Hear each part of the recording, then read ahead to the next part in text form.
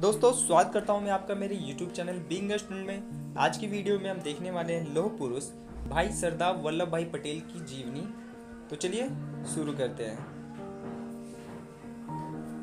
लोह पुरुष सरदार पटेल का जन्म 31 अक्टूबर सन 1875 को गुजरात प्रांत के करमसद नामक गाँव में हुआ था।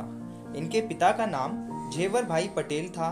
अपने उग्र स्वभाव के कारण सरदार पटेल अपनी शिक्षा पूरी नहीं कर सके। 18 वर्ष की आयु में इनका विवाह हो गया। बाद में उन्होंने वकालत प्रथम श्रेणी में पास की। फिर पटेल 1913 को भारत लौटे और अहमदाबाद में वकालत करने लगे। बाद में वे कांग्रेस के संयोजक मंत्री बने। गांधी जी को सरदार पटेल की क्षमता पर पूर्ण विश्वास था और वे पटेल जी की सलाह लिए बिना कोई काम नहीं करते थे। सरदार पटेल किसानों के लिए बहुत लड़े। उन्होंने घोषणा की कि कोई भी सरकार को टैक्स ना दे। अंग्रेज़ों ने इस आंदोलन को कुचलने का बहुत प्रयास किया, पर उनकी सरदार पटेल के आगे एक ना चली।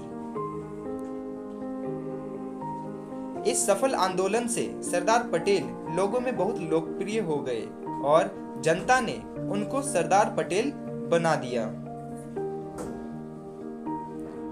15 अगस्त 1947 को भारत आज़ाद हुआ। सरदार पटेल भारत के पहले गृह मंत्री बने। अंग्रेज़ लगभग 700 रियासतों को उनकी इच्छा पर छोड़कर चले गए। बहुत सी रियासतें पाकिस्तान से मिलना चाहती थी, लेकिन इस साहसी वीर ने अपनी कुशाग्र बुद्धि से सब रियासतों को भारत में मिला दिया और अखंड भारत का निर्माण किया। इसके लिए पटेल जी को लौह पुरुष की उपाधि मिली।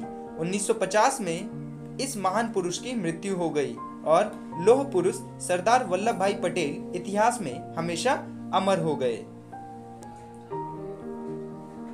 तो दोस्तों, ये थी एक छोटी सी निबंध सरदार वल्लभ भाई पटेल पे। आशा करते हैं आपको हमारी वीडियो पसंद आई होगी। तो हमारे चैनल को सब्सक्राइब ज़रूर करें। मिलते हैं अगले वीडियो में। तब तक के लिए थैंक यू धन्यवाद।